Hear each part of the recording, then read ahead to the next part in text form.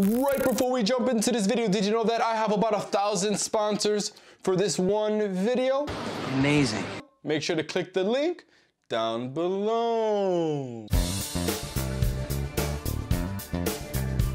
Jared Polin FroKnowsPhoto.com. And today we're gonna be talking about why Sony is better than Fuji and Nikon. Now beat it. Had to get you back, man. All right, you guys have asked me for my opinion on the Canon R5, and here it is. The Canon R5 is like the 5D Mark II of 2020. It's gonna set the new standard for camera specs with all the other brands. Now the Canon R5, I'm not gonna lie to you guys, it is, as a, I've been a Sony user for five years. It's five years. I have a little place in my heart for Sony, but the Canon R5 in terms of, it has three Sony cameras built into one. It has the resolution of an A7R3. It has the speed of an A9. Obviously there's differences there, but 20 frames per second of an A9. And it has top level video specs of the Sony a7S III, which is not even released yet. Who knows where that camera is, but it has top level specs that Sony can't compete with right now, but I'm sure they will be, but they don't. They give you everything in one. You got the flippy side screen, which is perfect for me as a YouTube creator and videographer or whatever, because I do vlog like I am right now. You get the f1.2 glass that no one else offers. That 50 and the 85 1.2 RF are insanely good.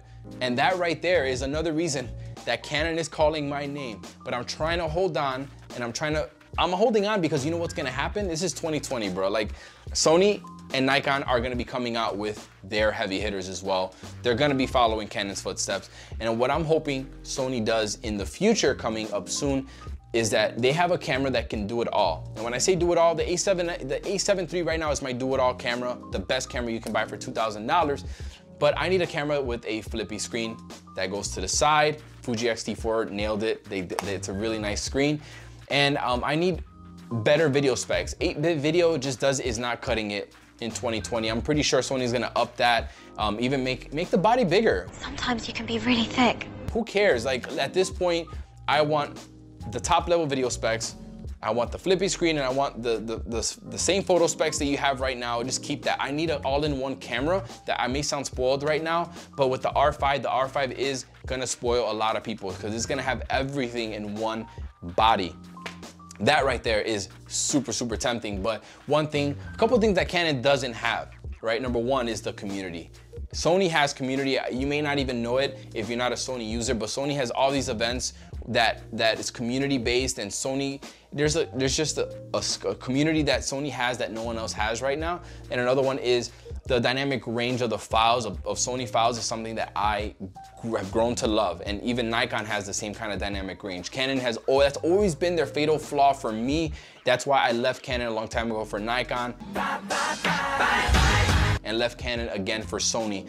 A lot of the reasons has to do with the dynamic range of the files, but I'm pretty sure the new sensor is gonna have better dynamic range because when you're shooting in bad lighting, being able to recover those shadows is clutch. So anyways, that right there, my friends, that is my take on the Canon R5. And I'm holding on by a thin string with Sony. We're gonna see what they have coming up. But the Canon right now is, is killing it. Killing it, especially with those lenses. Anyways, that is my thoughts on the Canon R5.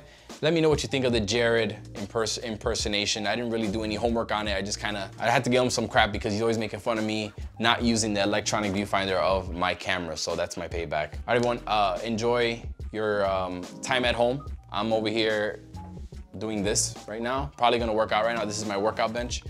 We'll see what happens, all right? Uh, stay tuned for the next video. I'll see you in the next one. Peace.